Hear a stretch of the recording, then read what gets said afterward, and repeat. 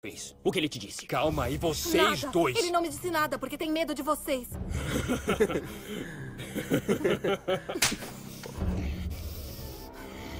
Tarde demais. Ela pra trás. Ou, ou pra trás agora!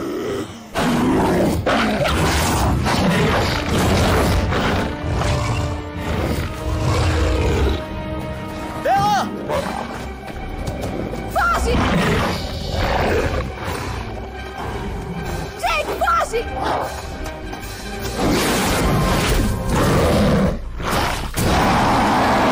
Aí, levem a Bela pra casa da Emily. O segredo do lobo foi revelado.